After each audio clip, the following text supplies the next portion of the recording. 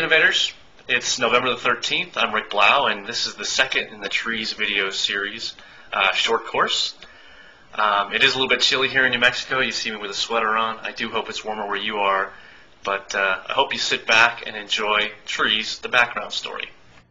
TRIZ, or the Russian acronym Theory of Inventive Problem Solving, was started by this man, Heinrich Altschuler, in the mid-1950s. Similar to this man, he worked in a patent office. The story goes that Altschuler worked in the Naval Patent Office reviewing patent submissions. Over time, he began to see certain patterns and strategies emerge that inventive people had used to overcome technically challenging problems. More importantly, though, he saw that these solutions would jump from one industry to another industry, completely unrelated to each other. And he soon realized that these patents provided a gold mine of solutions. The seed of the TRIZ method had been planted. At the conclusion of World War II, the Soviet Union had gained control of the German patent database and Stalin was preparing to sell it to the U.S. in return for food. Now, Altschuler understood that the seized patent collection was worth far more than the food itself. He, along with several other progressive thinkers of his day, dashed off an open letter to the national newspapers asking Stalin to reconsider.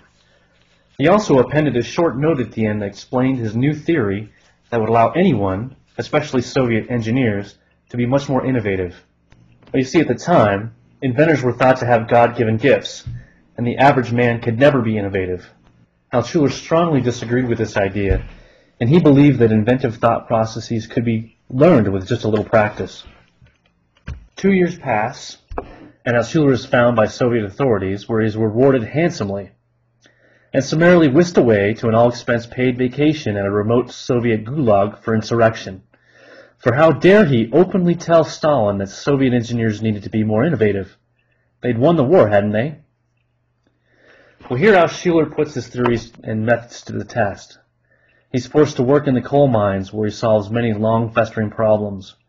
One of which, pictured here, a rescue suit, separates the heavy air support system from the rescuer so that he might be able to carry more weight and actually rescue more people. The miners actually assume that he's worked in the mining industry for years, when in reality, he's never even stepped a foot inside the mine. He also starts a University of One, where he spends time with the detained professors, keeping up their spirits, and more importantly, gaining a more formal education on all topics within the confines of the prison. You know, you just can't beat a free state education. Upon Stalin's death, uh, Altschuler is allowed to leave the Gulag, and he continues his development of TRIZ until his death in 1998 of Parkinson's disease. Now, there's a whole lot more to the story, and I couldn't talk about it in three minutes. But uh, I hope this gives you a flavor of how TRIZ developed, and we'll continue on with the actual theory in the next uh, sessions. Thanks a lot.